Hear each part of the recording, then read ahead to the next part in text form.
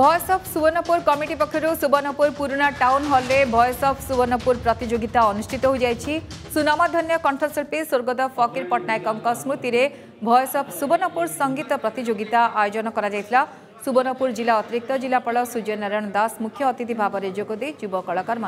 উৎসাহিত করলে অন্যମାନଙ୍କ ମଧ୍ୟରେ পৌরাধ্যক্ষ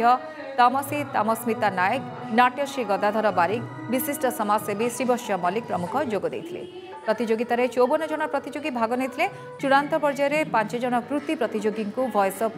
ସୁବର୍ଣ୍ଣପୁର ଘୋଷଣା କରାଯାଇଥିଲା ସେହିପରି ବିଶିଷ୍ଟ ଗାୟକ ସ୍ୱର୍ଗତ ବୃନ୍ଦାବନ ନାୟକଙ୍କ ସ୍ମୃତିରେ ସୁବର୍ଣ୍ଣପୁର ଜିଲ୍ଲାର ସତୁରି ବର୍ଷୀୟ କଣ୍ଠଶିଳ୍ପୀ ଋଷିକେଶ ସାହୁଙ୍କୁ ପ୍ରଥମ ପୁରସ୍କାରରେ ସମ୍ମାନିତ କରାଯାଇଥିଲା ଯୁବ ପ୍ରତିଭା ଅଭିଳାଷ ମିଶ୍ରଙ୍କୁ ବିଶିଷ୍ଟ ଷୋଳ ଭରଣୀ ବାଦ୍ୟକାର ସ୍ୱର୍ଗତ ପୁରନ୍ଦର ବାରିକଙ୍କ ସ୍ମୃତି ଦ୍ୱିତୀୟ ପୁରସ୍କାର ପ୍ରଦାନ କରାଯାଇଥିଲା